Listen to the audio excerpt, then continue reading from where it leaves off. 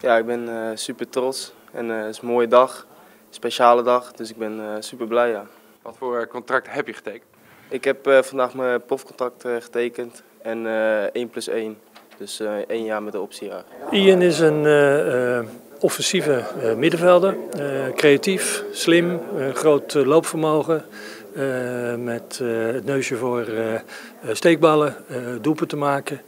Uh, en we zijn hartstikke blij dat we hem uh, ja, een contract hebben kunnen aanbieden en, en dat hij bij ons blijft. En heeft hartstikke goed gedaan in ons onder 21. Hè. Dat, dat, was wel moeizaam het afgelopen jaar, maar hij heeft altijd toch een bepaald niveau gehaald. En ja, we gaan nu kijken of hij de stap kan, kan maken naar onze eerste elftal. Ja, ik denk dat het een goed jaar was voor mij persoonlijk.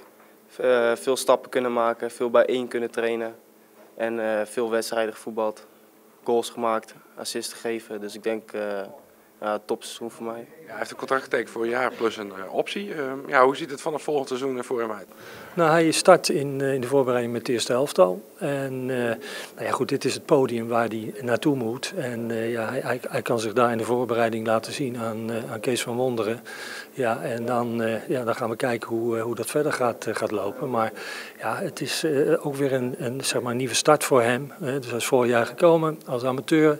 heeft zich prima ontwikkeld. En ja, nu gaan we kijken of hij de volgende stap kan, kan maken naar richting het eerste elftal. volgend seizoen start ik bij, bij het eerste in voorbereiding. En dan hopen dat ik gewoon volledig kan aansluiten. En dan zoveel mogelijk minuten kan maken. En anders in, in jong.